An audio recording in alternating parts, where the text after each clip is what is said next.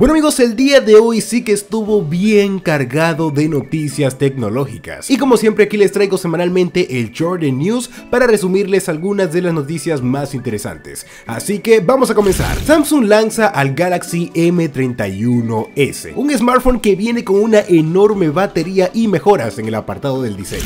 Huawei supera a Samsung y se coloca como el fabricante de móviles más grande en el mundo. Google lanza una invitación para este próximo 3 de agosto en donde posiblemente veremos el lanzamiento oficial por fin del el Pixel 4a. Y bueno, ya la última noticia del día de hoy tiene que ver con las últimas filtraciones del el Vivo S7, un teléfono que se va a caracterizar por venir claro con muy buenas características y también con un diseño ultra fino. Ahora sí, conociendo todos los titulares, les quiero invitar a que dejen su mega like azul para que YouTube recomiende este video y el canal continúe creciendo. Y también para que el tío Iron les diga...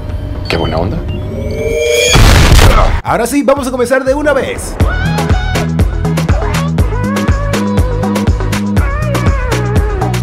Bueno gente, como les dije en los titulares, la primera noticia del día de hoy tiene que ver con el lanzamiento oficial del Samsung Galaxy M31s, un smartphone gama media que viene con muchas mejoras tanto en el apartado del diseño como también en el apartado de los internos en comparación con su versión anterior. En la parte trasera de este teléfono vamos a hallar un módulo de cámaras con cuatro sensores que sí que es bien grande y que a mí personalmente no me gusta tanto y ya si nos dirigimos a la parte frontal vamos a tener una pantalla muy bien aprovechada y con biseles bien reducidos. Eso es algo que me gusta bastante de este teléfono. Y en vez en esta ocasión de tener un notch tipo gota, tenemos un agujero en pantalla. También otra diferencia que vamos a poder notar es que el lector de huellas dactilares de este dispositivo está en un lateral y en su versión anterior lo teníamos en la parte trasera. Entrando ya en características técnicas, la pantalla de este es de 6,5 pulgadas con tecnología AMOLED, tiene un grosor de 9,3 milímetros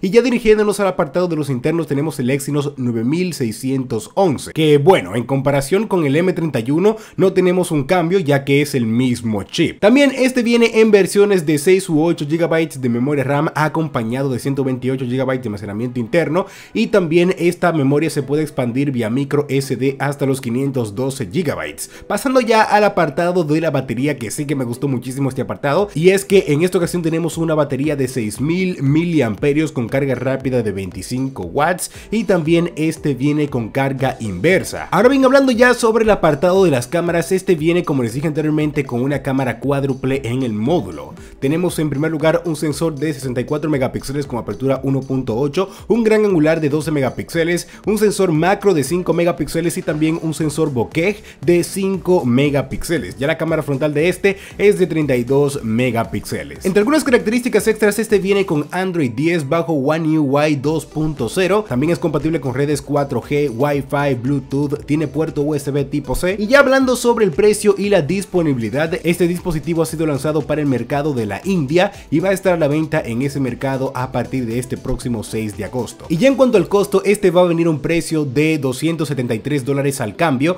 para la versión de 6 GB de memoria RAM y 128 de almacenamiento interno. Ya la versión de 8 de RAM con 128 GB va a venir a un precio de 300 dólares al cambio. Bueno gente, ya la segunda noticia del día de hoy tiene que ver con Huawei. Y sí, esta ha superado a Samsung y se ha colocado como la fabricante número uno en venta de móviles. Estamos hablando exactamente de los resultados del segundo trimestre de este año 2020, ya que la compañía llegó a vender 55,8 millones de dispositivos. Estos resultados los tenemos gracias a Counterpoint y también a Canalys. Aquí debajo en la descripción como siempre les voy a dejar todas las fuentes para que conozcan más detalles sobre esta noticia, pero sí, a pesar de la pandemia que está afectando al mundo completo, a Huawei sí que le ha ido bastante bien en este año 2020. Como la gran mayoría de ustedes saben, el año pasado, 2019, sucedió lo del veto de Estados Unidos y muchas personas estaban un tanto paranoicas con sus dispositivos, pero Huawei aún así ha salido a flote. Pasando ya a la tercera noticia, sí, por fin Google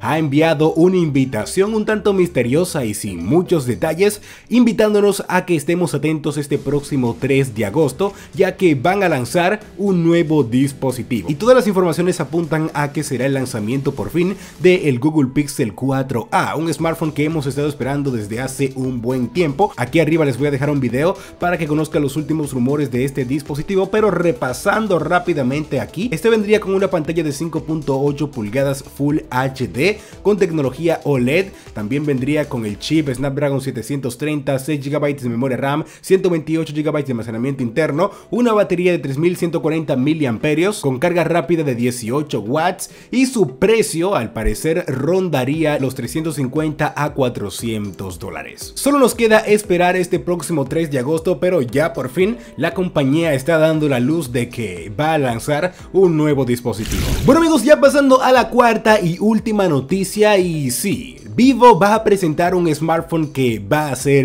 bien fino. Estamos hablando del Vivo S7, un teléfono que ha dado mucho de qué hablar en esta semana. Y bueno, estaba pensando en hacer un video dedicado a las filtraciones y todo eso, pero es mejor ya esperar a este próximo 3 de agosto para ver su lanzamiento oficial. Pero bueno, como pueden ver en pantalla se ha filtrado el dispositivo por todos lados y además de ser un teléfono que va a caracterizar por ser bien fino o delgado, también va a contar con compatibilidad para redes 5G. Entre algunas de las características técnicas que se conocen hasta ahora sobre este, este vendría con el Snapdragon 765G y va a tener un peso de 170 gramos, o sea que va a ser bien liviano. También este vendría con una pantalla de 6.43 pulgadas, pero con un detalle, y es que traería un notch. En cuanto al apartado de la cámara, este vendría con un módulo de cámaras en su parte trasera, conformado por un sensor principal de 64 megapíxeles, otro de 8 y un último de 13 megapíxeles. Ya la cámara frontal sería dual y sería de 44 más 8 megapíxeles. La batería de este se conoce que sería de 4500 miliamperios y bueno, lo voy a dejar ahí. Vamos a esperar el lanzamiento oficial de este dispositivo, como siempre aquí en el canal, les voy a contar todos los detalles una vez sea lanzado. Y bueno gente, antes de finalizar con este gran video, les quiero invitar a que dejen su gran like, compartan y se suscriban en este gran canal ya que la familia se está haciendo mucho más grande cada día. Como ya la gran mayoría de ustedes saben, diariamente estamos publicando interesante contenido sobre tecnología, así que no se lo pierdan. Nos vemos en una próxima.